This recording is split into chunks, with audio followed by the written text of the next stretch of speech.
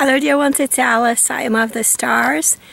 I, uh, I had a thought today that's worth considering to do with the subconscious mind and the conscious mind that I've discussed uh, in my website, Awakening with Planet Earth, https colon slash slash awakeningwithplanetearth.com. You can go there and search for the categories um, subconscious mind and conscious mind. Um, so the idea is that when children are very little, their intelligence proceeds from the subconscious mind, from the gut brain.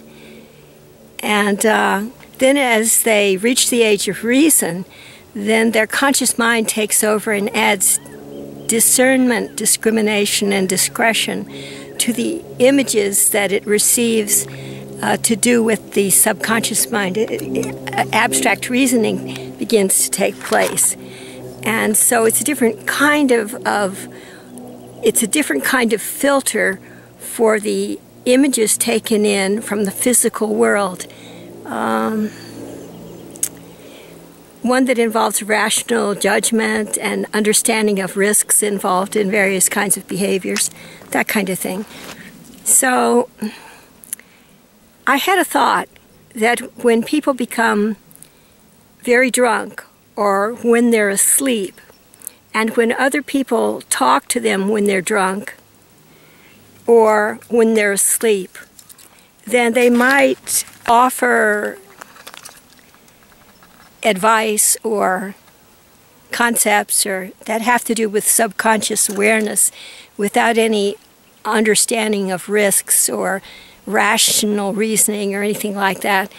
Just strange things.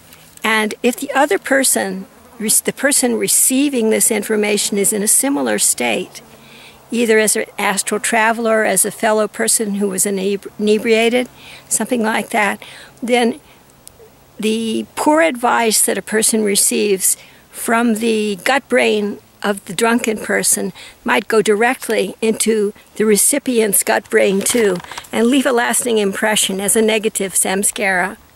You see what I mean? If, for instance, if, if for instance, one person said to another person in a drunken state, um, you know, the police can be bought in any case. It doesn't matter what kind of crime you do.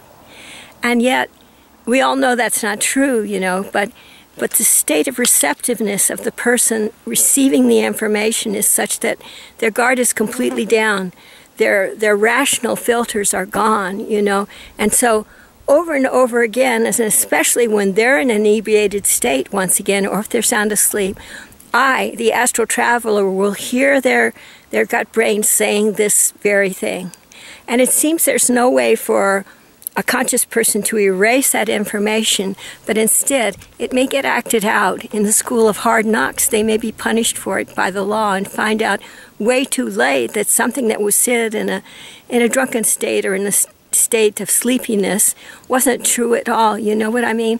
So it's very important for us to use discernment in heeding the advice of other people, I feel, and and not to act on advice that we receive either when we're in a drunken state or else when we're half asleep, to, to look over the, the dreams that rampage through the astral layers the night before and decide which of them we care to act on and which of them we care to set aside.